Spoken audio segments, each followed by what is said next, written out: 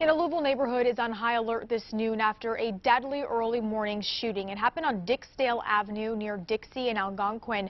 Right now, officers are working to identify a suspect, and those who knew the victim, they're just beginning to mourn. Hours before sunrise, many in the southwest Louisville neighborhood were wide awake. Gunshots prompted a call to 911. When officers arrived, they found one man dead outside of his home. Uh, at this point, it appears as if he may have suffered uh, one or more gunshot wounds. Authorities found the victim on the 1800 block of Dixdale Avenue. His mother tells WLKY he was 31 years old. He was a son, a brother, and a dad.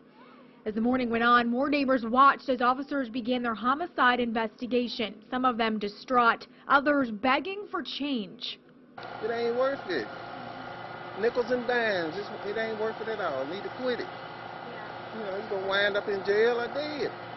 We all in this together, and if we can just uh, get along and communicate, it'll be a lot. Uh, it'll be a lot better than then all this senseless murder.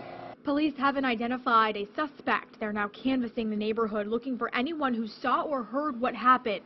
This is the 23rd homicide this year in Louisville. God, we gonna stop it because the system can't do nothing about it.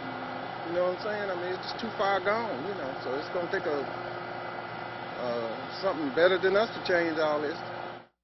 Police are asking anyone who knows information to call the anonymous tip line. That number is 574 LMPD.